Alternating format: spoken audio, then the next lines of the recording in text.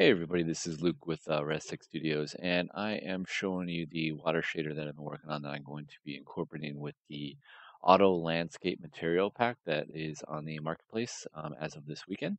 So this uh, will be added um, in addition um, with the with the version two version of the pack. So I'm just kind of going to give you a brief rundown. So under Tech Studios and under Auto Material, you have a landscape materials. You're going to go on that, and then you'll have a, this new folder here called Water uh, go in there and it's uh, basic water uh, shader. So you would just lay down your, your plane and then add your uh, material instance to it. So that's what I did here um, for this little lake that I created. So um, just kind of want to show you the, the functionalities of it and how to kind of get some uh, really good accurate uh, reflections as well using the reflection planar. So uh, to kind of dive right in here, let me just going to go over the, uh, the material instance and kind of what you can do with it. So as you can kind of see, we have watercolor near, watercolor far, uh, water brightness, the water hue, and distant color shadowing, um, as well as the water depth, the distant uh, density, and the uh, distance depth. Uh, reflection strength, uh, scale, uh, wave strength, water movement, and Y water movement. So we'll start at the top. So um, with these color wheels, uh, you're able to just kind of change the color of the water to whatever you want.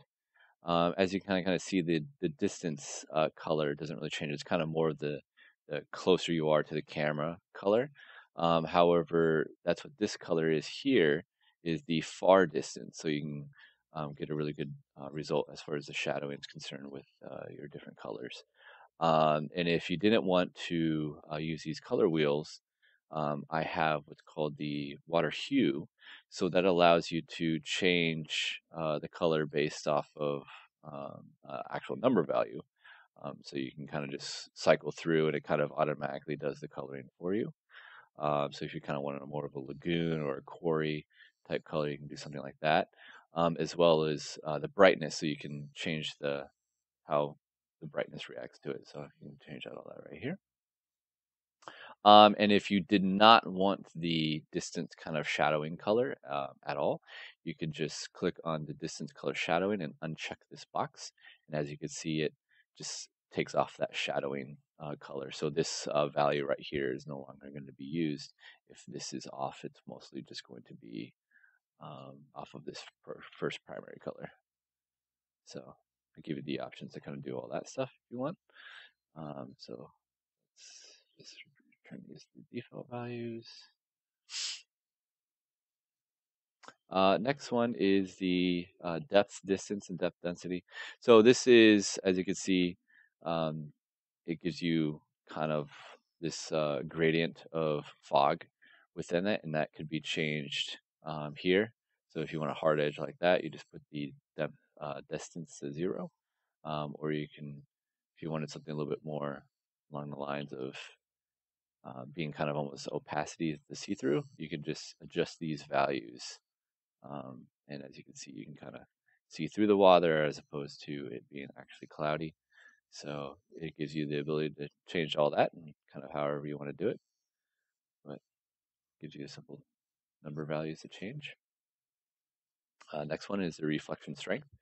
Um, this is kind of exactly what it is. Uh, right now I have this value, as you can see, kind of the mountains and whatnot. Um, but if you change this all the way up there, uh, everything becomes more reflective.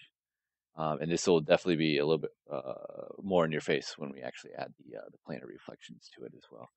Um, so gives you the ability to kind of get the look that you're looking for. Um, and I might as well just keep this all the way up because this right here um, is a nice feature to have. So right now we have the water scale to 50. That's basically the actual scale of the normals.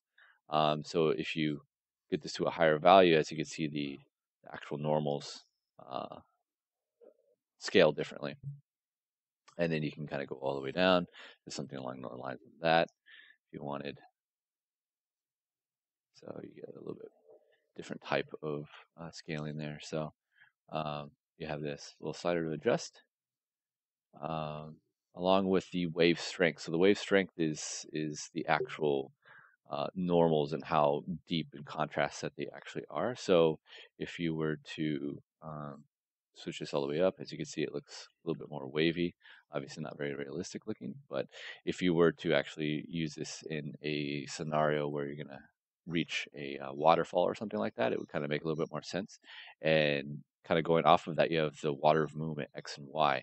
So, you know, kind of going through that, if you were to change this value, you see how it's kind of rushing in one direction extremely quickly. Um, and you can play around with that value here. But when you go in the negatives, it's basically opposite way. So you can change any direction that you would want right there. And then you can change the, the wave strength. So you can have a glass type atmosphere or just add a little bit like that so you get something on lines that's something more natural looking. So give you all those tools to, to work around with. So if you wanted something kind of that, it's pretty nice. Um, all right, so now I want to show you how you get some really nice reflections um, with this on top of what we have here. So uh, Unreal has a planar reflection. So you just go into your little search, type in planar, you bring that into your world. And as you can see, we already have uh, much better reflections. So you just want to scale this to your actual water. So just bring it here, scale it, that. And then so already, as you can see, we have actual real reflections that's actually reflecting um, what you see there. So, um, and you'll get this little error here. It'll say global plane um, project settings not enabled. Um, so we, what you want to do is you want to go to Window.